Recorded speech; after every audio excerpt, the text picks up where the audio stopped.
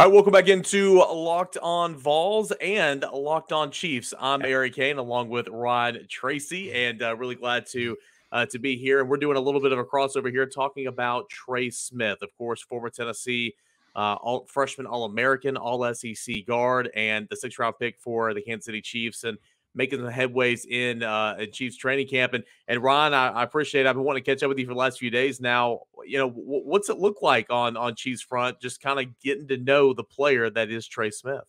It's it's really interesting because he is one of now three rookies that looks to be starting on this particular offensive line. And he's the guy that we kind of all set apart a lot of buffer to let him learn, let him adjust. You know, when I did his film breakdowns pre draft, I know that he's got some athleticism. He's certainly got his tenacity, but fitting into what we thought the offense was going to be was going to be a little bit challenging for him, right? Well, in the mm-hmm. meantime, they've revamped. And I think what we're going to see not only in the preseason games, but definitely come the season, they're going to use more of the strengths that he's akin to in their game than maybe we've seen in years past. I think that's a big plus for him. He's going to be a linchpin in, in getting drive off of the ball which has been something they haven't been able to do the last couple of years. Well, so far when you've seen them in in, in training camp uh, early on, I know that it took a while to get into pads, but been in pads for quite some time right now. I mean, as he obviously he stood out. I mean, I saw the depth chart released, and uh, he's slated right there at right guard. What has he done well uh, so far in training camp? He's really fixed the one thing that I was concerned with him coming out in that he's not on the ground as much. He's he looks like he keeps his balance better. He's trimmer. He's dropped probably from looking from film. We don't have this confirmed, but somewhere between 25 pounds and maybe a touch more. You know, he's moving better in an offense that demands that you move better. Um, I think the zone blocking looks better when they run that. Clearly, I think he's a little bit more at home in the power gap type stuff. But overall, it's been a really pleasant surprise, especially when you consider he's going up against um, an unretired veteran in Kyle Long who ended up getting hurt, but there's one guy you had slotted in there. Then you have another returning veteran, Laurent Duvernay Tardif, who's played a ton of snaps for this team. Yeah. Now, Trey managed to stay in front of both of them, and that's significant. So I think uh, anybody who wants to follow him to the next level is going to be pleasantly surprised with how much you get to see him in year one. You know, coming into the draft, it, I mean, I, Trey was kind of all over the board. Some mocks had him in the third round, some mocks had him in the fifth, sixth, seventh round, just because of the medical concerns. How much did you know about Trey Smith? You said you did your research prior to the draft, and did you think that the Chiefs could realistically select a guy like Trey Smith?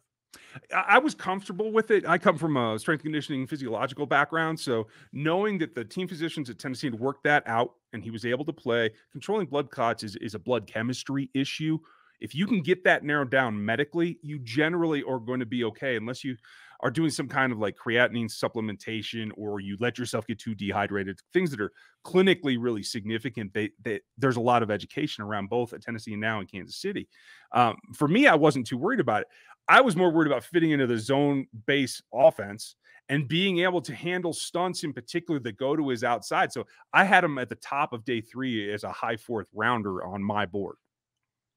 So, what's been the reaction from, from the fan base in, in Chiefs Kingdom, kind of knowing Trey Smith's story, knowing everything that he's had to overcome, getting back onto the field, and then uh, again, adversity strikes once again with the NFL draft. And it just feels like, and of course, this is coming from a Vols perspective, but it feels like one of the best stories in, in all of NFL training camp. It's love at first sight. It really is. you know, I mean, it, Kansas City is a Midwest town that is a sucker for a good story you know, even to the point where sometimes we get a little ahead of ourselves in promoting guys that maybe don't have it physically at this level. But when you put it all together with his style of play, which is something that's been so lacking in Kansas City uh, for the last several years, that's just you know a wish fulfilled for the fan base, and it's been very, very quick to happen. I want to know from you, like, are you surprised at the transition that he's been able to make and the changes that he seems to be putting in place? Not one bit. Yeah. I mean, this is a guy that, you know, we've we've covered him. Remember when he was a when he was a high school recruit. I mean, he was, you know, as high as number one in the nation in some some publications, coming to Tennessee, starting as a true freshman, you know, going through a coaching change then, coming in with a new regime, hitting the sidelines because of the blood clots, missing some times, battling back, taking some time off again um, playing left tackle, playing right guard, playing you know left guard, pretty much playing everything but center, seeing just everything he's overcome and doing it at the, at the high level with with just a great just attack the day type attitude and and knowing that really it's a blessing every single day that he's able to go out there and play football. It's just a guy from me, from my vantage point, that just loves the game and is just so appreciative for everything. So, was he disappointed? Absolutely. Is he considering it's a blessing to fall in a great place like Kansas City? I think so too. Yeah, I, I think so too. And, and the marriage of the two sides of the personality, I think, is what really has a lot of the fan base fired up. It has me fired up too to be that physically dominant and a guy that looks for content, that looks to finish that much, but still has the cerebral part that can understand what is maybe the most complex offense in the NFL as a rookie is always a challenge, particularly when you're in an offensive line where you're not the only rookie. And the guy who's making the calls next to you is somebody that you've seen play quite a bit, and you're kind of working together. And I think that that cerebral part of it is probably the thing that gives him the biggest edge here. Um, in terms of like offensive flavors, has he ever had any problem with any kind of transition to a, a style of play that he's been asked to perform?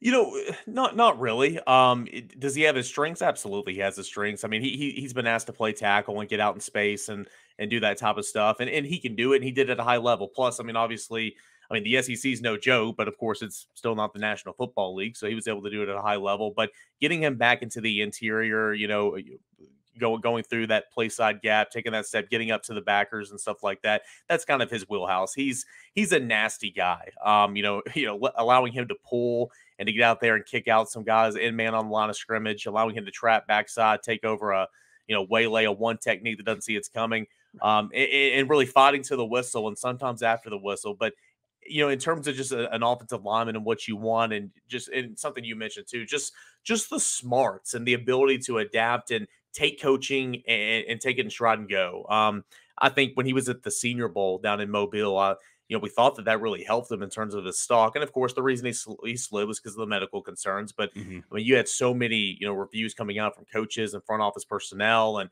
and former players who were saying, man, you know, Trey Smith is is you know beyond years in terms of just not only is he physically dominating and physically impressive, but taking the coaching, what we're doing, and putting it into action right away. And so that's just kind of Trey Smith. Again, he's he didn't have the best coaching here at Tennessee. I don't think that's any secret, especially on the offensive line with Will Friend.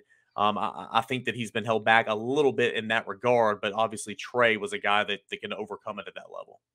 Well, I think not to throw any coaching staff under the bus, but I, I, think that can be probably most summed up by his teammate now, but former SEC opponent, and Nick Bolton, who played at Mizzou, who got to face him quite a bit. And he's talked about the evolution that he's seen just in this training camp of being more physical, being able to, to do his task, not just in a way that is beating somebody up, but is exactly in line with what the offense demands. And I think really for me, maybe, maybe I'm wrong. You tell me. I think the guy that might reap the best benefits from Trey being a starter is not Patrick Mahomes, but Clyde Edwards-Helaire.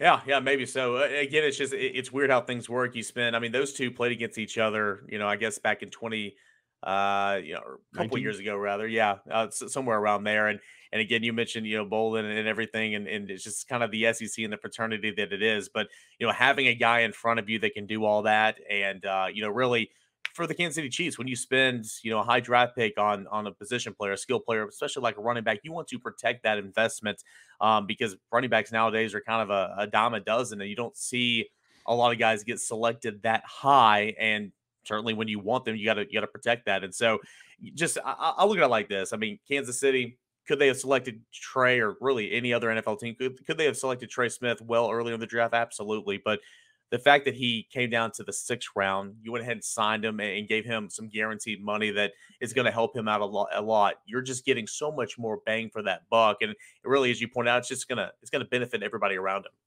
Well, I think everybody down in Tennessee should be happy, folks. We're glad that you're here for this. Eric Cain, Locked On Vols, Ryan Tracy, Locked On Chiefs. Thanks for doing this. This was great. Yeah, absolutely, man. Have fun. Have a good one, folks.